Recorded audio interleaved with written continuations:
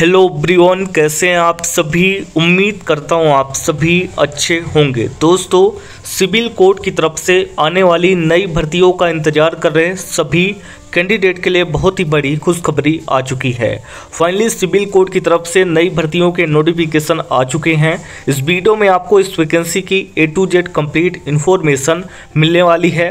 Civil code की तरफ़ से प्यून और स्टोनोग्राफर के पदों पर भर्तियों के नोटिफिकेशन और आवेदन करने के लिए लिंक भी एक्टिवेट कर दिए गए हैं, जिसकी आखिरी डेट आने वाली 18 जुलाई 2024 होने वाली है। दिए गए समय में आपको ऑनलाइन आवेदन करना होगा। घर बैठे अपने मोबाइल फ़ोन के माध्यम से आप लोग चाहें तो आवेदन कर सकते हैं। इसके अलावा आपको बता दें, आपको आवेदन ऑनलाइन ही करने होंगे। ऑल इंडिया लेवल की जॉब मिल रही है। आप लोग भारत के किसी भी राज्य से आवेदन कर सकते हैं और मेल एंड फीमेल यानी महिला और पुरुष दोनों कैटेगरी के कैंडिडेट यहाँ पर आवेदन कर पाएँगे। सैलरी दोनों ही पोस्ट पर काफ़ी अच्छी है, फॉर्म फ़ीस भी दोनों पोस्ट की अलग अलग है, इसीलिए आपको जो एक्स्ट्रा जानकारी है जैसे सिलेक्शन के बारे में, सैलरी के बारे में अप्लीकेशन फ़ीस के बारे में, उसको हम नोटिफिकेशन डाउनलोड करके दिखाएँगे। आप सभी से छोटी सी रिक्वेस्ट है। अगर आप कम से कम कक्षा आठवीं पास है और पियून जैसे पदों पर सरकारी नौकरी चाहते हैं, सिविल कोड के अंदर तो इस वीडियो को आखिरी तक ज़रूर देखिएगा। अगर वीडियो में दी गई इन्फॉर्मेशन आपको आपके काम की लगे तो वीडियो को लाइक करिएगा और आगे आने वाली वीडियो की अपडेट के लिए चैनल को सब्सक्राइब करके बेल नोटिफिकेशन को ऑन करना बिल्कुल भी मिस मत करिएगा। आइए चलते हैं आज के अपने main topic official website plus notification पर। दोस्तों, आपको आवेदन करने का नोटिफिकेशन डाउनलोड करने का लिंक वीडियो के डिस्क्रिप्शन में दे दिया गया। आप लोग क्लिक करके इस पेज पे आ सकते हैं। इसके अलावा यहाँ पर आने के बाद सबसे पहला काम करेंगे व्हाट्सएप ग्रुप को ज्वाइन करेंगे। साथ ही साथ व्हाट्सएप चैनल और टेलीग्राम ग्रुप को भी ज़रूर से आपको ज्वाइन करना है। यहाँ पे देखें सिटी सिविल कोड की तरफ़ से रिक्रूटमेंट है दो हज़ार चौबीस के लिए। अधिक जानकारी के लिए गूगल सर्च करेंगे नौकरी खबर आपको हमारी वेबसाइट मिल जाएगी। इंपॉर्टेंट डेट्स की बात करते हैं। तो 18 जून 2024 से लेकर आवेदन ऑलरेडी शुरू हो चुके हैं, जिसकी आखिरी डेट 18 जुलाई 2024 की है। इसके बाद अप्लीकेशन फ़ीस है। दोनों ही पोस्ट यानी कि प्यून और स्टोनोग्राफर के लिए अप्लीकेशन फ़ीस अलग अलग है। कैटेगरी वाइज भी अलग अलग है और पोस्ट वाइज भी अलग अलग है। इसीलिए इसको हम नोटिफिकेशन के अंदर आपको दिखाएँगे। इसके बाद आपकी उम्र क्या होनी चाहिए? तो कम से कम यहाँ पे 18 साल और अधिक से अधिक 40 यानी कि 40 साल तक के कैंडिडेट आसानी से आवेदन कर पाएँगे। देन हम बात करते हैं नंबर ऑफ़ वैकेंसी के बारे में। तो यहाँ पर वेरियस पोस्टें हैं, जहाँ पे आपको पोस्ट यहाँ पर दो तरह की मिलेंगी। पहली तो स्टोनोग्राफर की और सेकंड यहाँ पर पियोन की। देन हम बात करते हैं एलिजिबिलिटी यानी क्वालिफिकेशन के बारे में। दो तरह की पोस्टें हैं, एक तो प्यून की। प्यून के लिए कक्षा आठवीं पास कैंडिडेट आवेदन करेंगे। और दूसरी जो सेकंड पोस्ट है स्टोनोग्राफर की, उसके लिए ग्रेजुएशन चाहिए होगा। ऑल इंडिया लेवल पर आप लोग इसके लिए आवेदन कर पाएँगे और मेल और फीमेल दोनों कैटेगरी के कैंडिडेट आवेदन कर सकते हैं।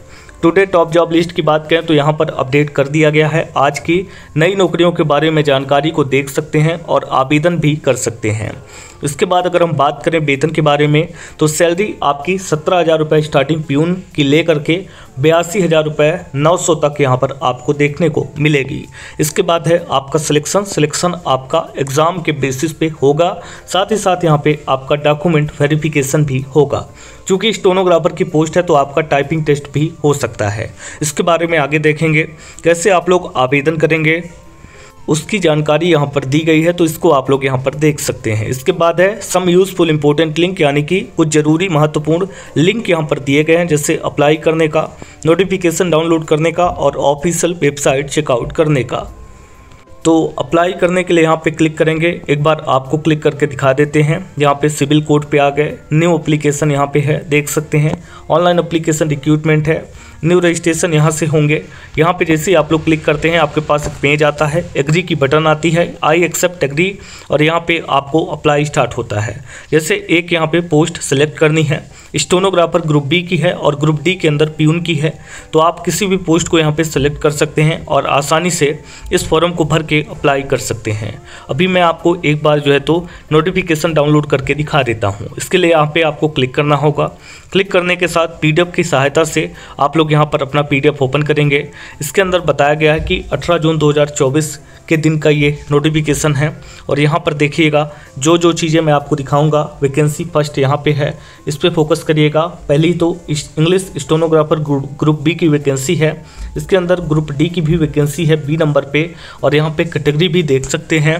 इसके बाद दोनों की सैलरी है। सैलरी यहाँ पे आप लोग देख पाएँगे। इंग्लिश स्टोनोग्राफर के लिए बत्तीस हज़ार सौ से लेकर बयासी हज़ार नौ सौ और ग्रुप डी पीयून के लिए सत्रह हज़ार से लेकर तियालीस हज़ार छः सौ रुपये तक आपको मिलेगा।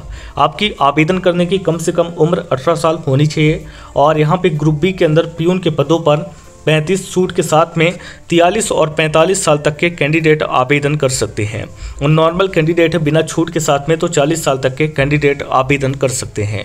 इसके बाद यहाँ से और नीचे आते हैं। तो यहाँ पे आपको क्वालिफिकेशन भी बताया गया है। उसको भी आप लोग यहाँ पर देख सकते हैं। जो स्टोनोग्राफर की पोस्ट पर आवेदन करेंगे, उनके लिए बैचलर डिग्री चाहिए होगा। बाकी जो यहाँ पे ग्रुप डी यानी प्यून के पदों पर आवेदन करेंगे, उनके लिए क्लास एट पास यानी कि कक्षा आठवीं पास है तो आवेदन कर सकते हैं। आपका चयन कैसे होगा? मोड ऑफ़ एग्जामिनेशन, यहाँ पे आपका एग्ज़ाम होना है। इसके बाद यहाँ से और नीचे आएँगे। रिटर्न एग्ज़ाम की प्रोसेस को आप लोग यहाँ पर देख सकते हैं। नीचे आने पर आपको एक चीज़ देखने को मिलेगी यहाँ पर अप्लीकेशन फ़ीस इंग्लिश स्टोनोग्राफर के लिए जर्नल के अंदर 400 एससी और ईडब्ल्यूएस के लिए 350 और पीयून के लिए जर्नल में 250 और एस सी ईडब्ल्यूएस के लिए दो सौ रखा गया है। उसके बाद भी कई सारी चीज़ें हैं जो कि आप लोग यहाँ पर आसानी से देख सकते हैं। दोस्तों, अगर वीडियो में दी गई इन्फॉर्मेशन आपको आपके काम की लगी हो तो वीडियो को लाइक कर दीजिएगा और ऐसी ही वीडियो की अपडेट आगे भी देखने के लिए चैनल को सब्सक्राइब करके बेल नोटिफिकेशन को ऑन ज़रूर करिएगा। मिलते हैं अगली वीडियो के साथ नेक्स्ट अपडेट में। तब तक के लिए आप सभी का धन्यवाद।